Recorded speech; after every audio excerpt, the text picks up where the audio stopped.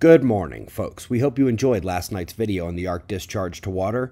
Today we have major cosmology news, we answer last night's trivia question, and more.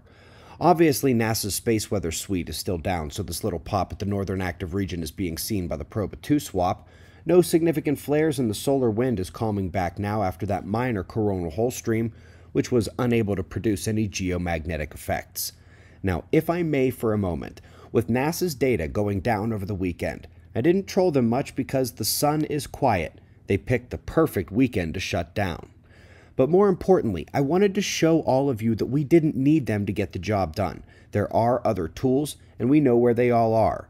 But it's worth mentioning they have redundancies upon redundancies. This was an unnecessary thing that happened this weekend, and we know it. Interesting peak rumble alongside Blood Echoes in the Dominican Republic. Larger magnitude seismicity has been pretty quiet worldwide the last several days. Up next, we're going to an excellent preprint. For those who can peer review these kinds of papers, you'll find this a good one, with that added confidence in their conclusion that CO2 is not much of a climate factor and internal variability is being underrepresented, to say the least. Up next is a weird one. Scientists arguing that they can't explain the heat flux under Greenland, so therefore it must not actually be there. Seriously. Just like with the mercury in the geology they can't explain, which we saw about a week ago, now they need the underground heat to explain what they see in the ice motion on the surface, but can't figure out how to get that heat under the Greenland ice sheet. So these scientists are claiming it's just not there.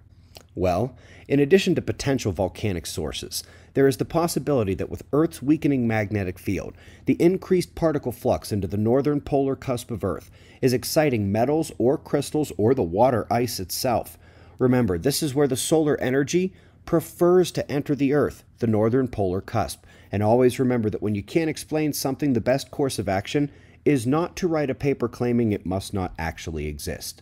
Speaking of exciting metal, Folks, many of you correctly had your minds jump to the water in the human body last night while watching the arc discharge video. Not only is that the right idea, but we're ionic, electric creatures. But beyond that charge, the neutralized metals found in Alzheimer's plaques should make all veteran observers ask what sort of effects might occur on the single molecule level, to the ions, in addition to asking what the electricity will do to our bodies as a whole. To answer last night's trivia question requires first reading this correctly. It states that the law of gravity, as the distance between the centers of two objects approaches zero, the gravitational force becomes infinite. That three little dot triangle is the therefore symbol, and so if the limit as r approaches zero is infinite force of attraction, what can we surmise? Well, the only way to actually get anywhere near that limit is with singularities. Otherwise, the outer volumes of the objects collide long before the centers approach that limit. That means that if singularities were on a collision course, right before impact they'd be experiencing almost infinite force, far more than what's needed to exceed the speed of light. And what's worse, that speed should make their mass infinite according to relativity, right? But that extra mass would pull them together even harder and faster in this scenario, increasing the attractive force. The thing that's supposed to stop rockets from reaching the speed of light actually would force these singularities on collision course even faster. That means that either relativity is wrong, especially about the cosmic speed limit, or there are no such things as singularities, black holes. Of course, without one, the other ceases to function in the universe, etc. Stepping back to the primary slap we have at the dark matter paradigm, which is that over the last 50 years since they thought they could see it all and invented dark matter, they've done nothing but find more normal matter and then turn around to ignore the electromagnetic aspects of that matter. They are missing both the matter and the electromagnetic characteristics. Today, they found one of the latter. Folks, this one is heading to Nature and has been accepted. We get to read it free on arXiv, and it's everything you'd think it would be cosmic filaments are spinning.